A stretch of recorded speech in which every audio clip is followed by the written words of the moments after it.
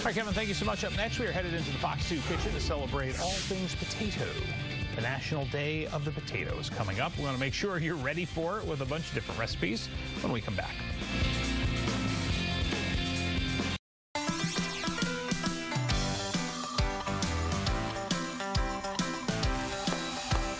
Dan Quayle would be proud. It is all about the potato here in the Fox 2 kitchen.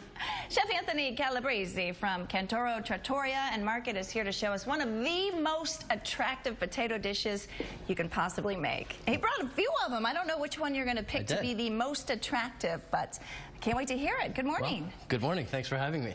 So listen, it's the day of the potato. And, you know, it's not just for baking anymore, right? Not always, nope. so what we have here is uh, a classic potato pave.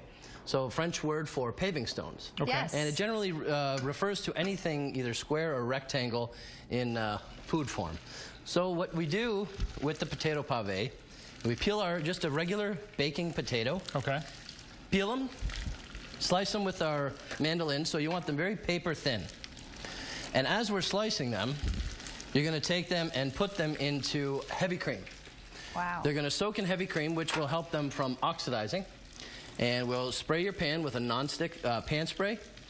So as they're paper thin, you take them out of the cream and shingle them into your pan, okay. creating a first layer. When you say shingle them? Yep, just like the shingles layers. on the roof. Yep, very thin layers. All right. And each layer is going to get a little salt, pepper, fresh uh, ground nutmeg, and you're going to dot each layer with butter. My goodness. So it's very heart smart.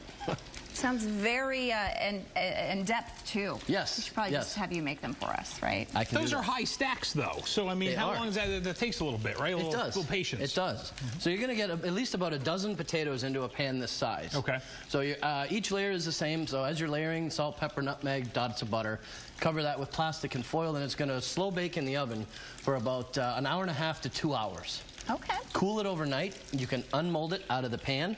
And that's where I'm able to cut nice little, uh, you know, rectangle forms like this. Or we can do a triangle over there. Or if you're serving it with an entree, you can do a little square with some lamb chops, some broccolini. Okay. But generally, it's kind of more of an appetizer and hors d'oeuvre. Do you have to, when you cut them into those squares like that, do they have to be cold? Yes, because yes. otherwise yes. you're kind of dealing with mashed potato. It almost, you know, the yes, mashed potato. exactly. Very fragile dish. So as mm -hmm. we're, you know, um, pan frying them here, they, they soften up. When the butter softens, it obviously gets very warm and gets very fragile to work with.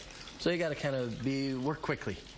Have the rest of your accompaniments ready to go. Excellent. Sounds like a process. Tell us, what is your favorite type of potato to work with? I see some sweet potatoes here. Honestly, your regular. Regular? Yeah. Yep. It, there's so many things you can do with it, whether it's a potato pave, uh, a mashed potato, a miniature twice-baked potato, uh, Italian potato salad like we have here with a limoncello vinaigrette and uh, fennel greens. Yeah. Potato salad over there with bacon, onions, and gorgonzola cheese. So to me, it's the most versatile. I can't believe how good everything looks. what are those little pods of potato over there? What's that the all pods, about? We have a baby Yukon Gold potato. Nice. With uh, just a, a twice baked, so cheddar cheese and bacon. Wow. Yeah, these are all comfort foods, too. Everybody yes. loves potatoes. Sure. Where that are you guys true. located? We are in uh, Plymouth and Livonia. Okay, yep. two different locations. Yep. All right. So celebrate the potato today. We'll get the recipe up at fox2detroit.com. And you guys have anything special coming up before we go?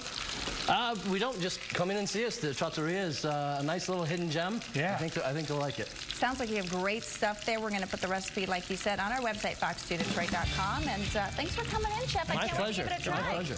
All right, let's, let's dig We're in. Eat, yes. Please do. All right.